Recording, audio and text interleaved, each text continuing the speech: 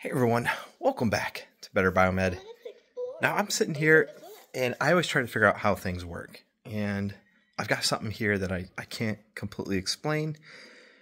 And of course, it's a children's toy. Usually, children's toys are extremely easy to explain how they work. However, believe it or not, um, usually some of the most innovative technology comes in the form of children's toys. So let's go ahead, let's flip this camera around and I'll show you what it's doing and what I know it can do. And then uh, I'll get you guys' opinions on how it's doing the rest. Because I, I can't completely explain it. Alright guys, so here we are. This is the Learning Friends 100 Words book by Leapfrog. And I can immediately see some indexing wheels right here. And there's probably underneath each one of these wheels, there's probably a micro switch that picks it up so it knows what page has been flipped. So when you open it up, they're all, let's say if it's ones and zeros, right now they're all zeros, right? So let's, let's close this book, turn it on. Hi, friend. Let's explore. Open the book. Okay, so we open the book. Pets. All right. Of course, it talks too much, right? So it's got these pages, and you can see that they're they're indexed, and right here are the indicators. However, um, notice Elephant. that. Cat, each Rabbit. Pony. Lizard. okay, so it looks like it's touchscreen, right? It looks Bird. like maybe there should be micro buttons underneath it, but that doesn't make sense because as you flip pages, if there these are micro micro switches that you press, then with every page it's going to get more and more difficult to press through the page because notice there's no holes in these pages. And notice how they're kind of translucent. Right so no light is shining through these so it doesn't work based on light that I'm aware of. So when you flip a page you can see that a page is attached to a collar. I'm going to shut that off because it's annoying. So a page is attached to a collar, and when you flip it, you can notice that all these will indicate one thing, and this one here is going to change its setting. So that's how it knows what page you're on. And it knows if, if this side's being activated over here, because right here is a page. And again, you would think that there are buttons, right? But they're not, and I'm going to prove it to you. So it's not working via press. I haven't figured it out. So this is how it determines what page you're on, and based on whether or not it's this side being activated through this plastic panel, or all the way here in the back, this plastic panel. That's how it knows what page you're on, based on which color is activated. So let's go ahead and flip through a couple of them. So now you can see if this is ones and zeros, we got one, one, one, zero, zero. Okay, so it knows one, one, one, zero, zero. If this page is activated, here are the things. And if this side is activated, here are the things, okay? And notice they're only in certain regions on every single page. That makes sense. What doesn't make sense is how it knows that you're going to touch it.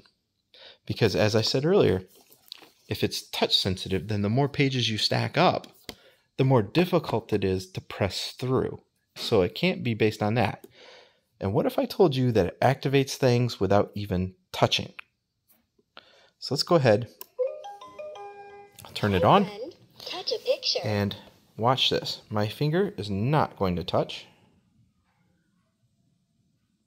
Arm. See? I didn't even touch it yet.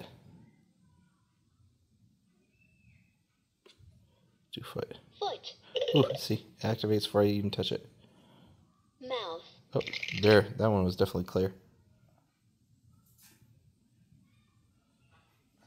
Mouth. See? Right there. So it activates without me touching. Nose. Eyes. See? I'm, I'm, I'm hovering about that far off. So let's say two to three millimeters. Ear. Off. Body. Yeah, this one. This one I'm really far off. See? Ready? Body. Okay, so I'm not touching it. So if there was some sort of matrix across this, then then that would make sense. There's no matrix that I can tell. I held this up to the light. I see nothing in the page, so there's no electrical contacts in this page whatsoever. So, how does it know? This is where I'm really confused.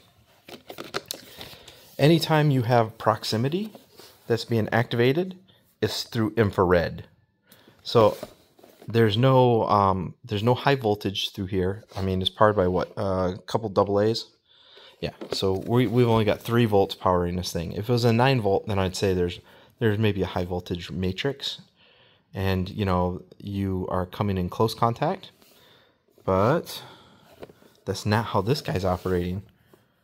So looking at the perimeter, the only thing I can figure is that there's some sort of infrared sensor underneath each and every one of these buttons, and I just can't see it. Because normally with infrared, you'd have a receiver, right?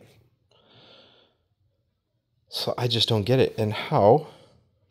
How would an infrared do it? Um, because with multiple windows or multiple pages, it would get more and more difficult to detect the infrared, but it's not at all. Here, let me turn it on. Let's see. Hi, friend. Touch Let's put let's put all the pages on this side. Let's see. And let's see if I can come close to the giraffe.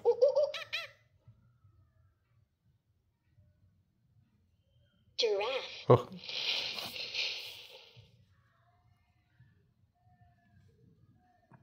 I'm trying as close as I can. without- Lion. Yeah, see, I'm not I'm not even touching it. Let's try it with the side profile. Ready? Lion. Yep, see. I didn't even touch it. Monkey.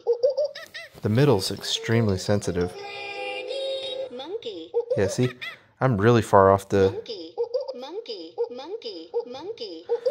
so I'm about five millimeters in the middle and it activates. So if it is, Vehicles. I don't know, do you think it works on capacitance? Because I'm not actually touching, so I don't see how that could happen. The only thing I could figure is it's infrared, but it's not infrared. I know this is how it figures out what page I'm on. But how do you think it's activating these fields? Now, if there was two of these, if I found another one, I would tear it apart and we'd get those answers. But uh, it has been painfully uh, made clear to me that I am not to tear this thing apart. so if I can't tear it apart, then I've got to figure out how this does what it does. And I just can't see it. There's no detectors. There's no detectors anywhere. So the detectors have to be through here and it's shining up through the pages and it's detecting my hand close to proximity. I don't know. So anyway, guys, if you could help me, I have to understand how things work.